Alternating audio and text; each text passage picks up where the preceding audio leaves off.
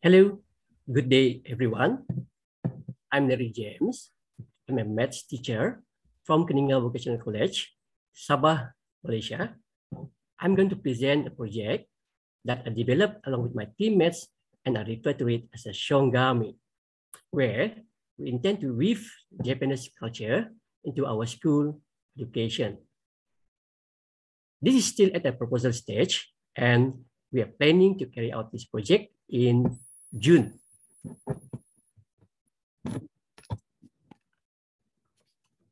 So here we go. What is Shongami? Shongami is an abbreviation of Sosuke, manga, and origami. Sosuke also known as a book. We would like to combine craft, visuals, and note-taking skills inspired by several aspects of Japanese culture, particularly origami and manga. This will be a training program for teachers and students who will learn to create crafts using origami, draw in manga style, and use them as a note-taking strategy. Our objectives are to introduce a group of pre-selected teachers and students to Japanese culture, trend in origami and manga, and finally, guide them to use this in note-taking through a specific note-taking style inspired by a Japanese scholar.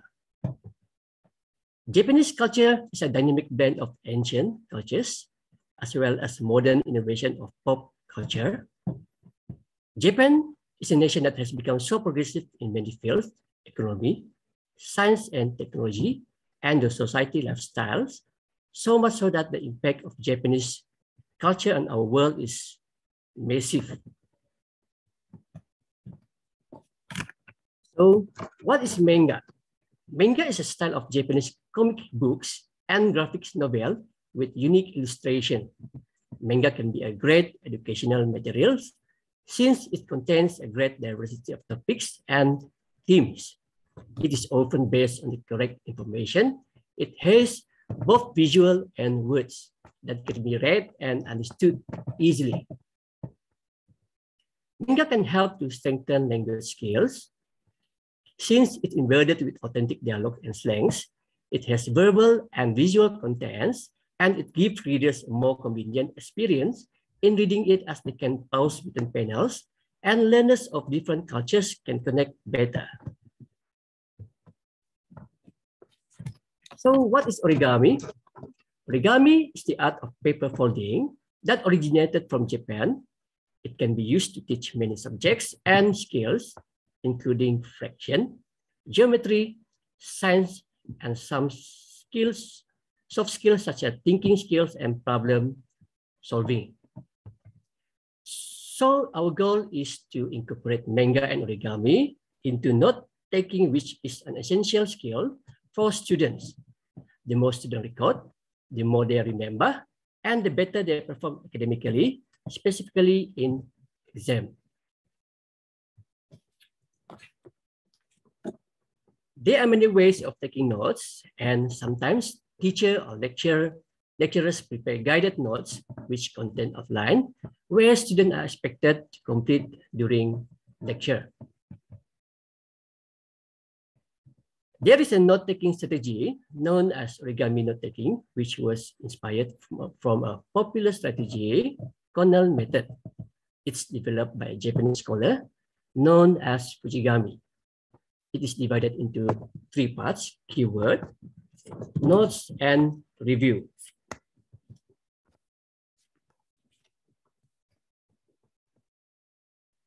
The strategy basically requires the student to, to draw lines on the paper, like in this picture, and then label the section accordingly. This is an example of how the separate sections are filled in with information that will help students to recall and comprehend it better. You can fold the paper along the vertical lines when you want to test your memory and understanding of the notes. There is another aspect of note-taking, specifically known as visual note-taking or sketch noting, which combine both text and visuals.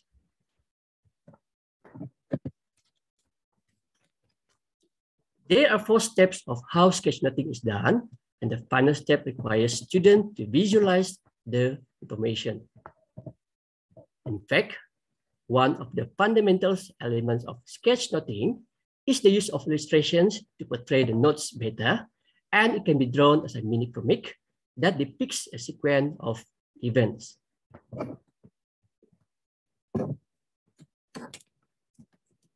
We understand Technology has progressed rapidly and digital notes and devices are more popular now. However, conventional note-taking still remains relevant as a great way for students to remember and understand what they experience during a lecture or class. Hence, this project aims to tap into manga and origami in order to devise a note-taking strategy that can improve student learning and probably teacher pedagogical method. This is the end of my presentation. Thank you for listening.